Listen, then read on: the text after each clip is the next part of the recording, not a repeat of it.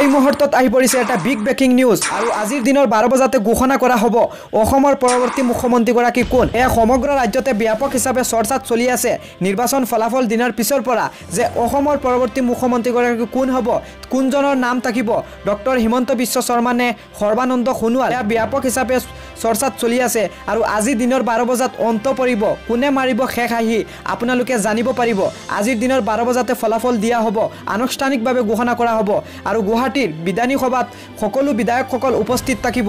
এই বৈঠকত বিজেপিৰ বিধায়কসকল উপস্থিত থাকিব আৰু ইয়াত আহিব বিজেপিৰ বহুতো ৰাষ্ট্ৰীয় মন্ত্ৰীসকল। ইয়াত উল্লেখ কৰা হৈছে বিয়ল সন্তোষ অৰুণ সিং নৰেন্দ্ৰ সিং টোমৰ বিজয়ন্তা পাণ্ডে। এইসকল ৰাষ্ট্ৰীয় মন্ত্ৰীসকল উপস্থিত থাকিব দিনৰ বাৰ বজাতে। আৰু বন্ধুসকল এতিয়া আপোনালোকে জনাওক যে অসমৰ পৰৱৰ্তী মুখ্যমন্ত্ৰী হিচাপে আপুনি কোনজনক বিচাৰে?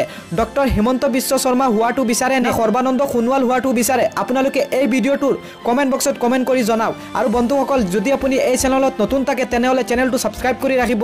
যেতিয়া আপডেট আহিব মই লগে লগে এই মিডিলচম ইউটিউব চেনেলত ভিডিঅ'টো আপলোড কৰিম।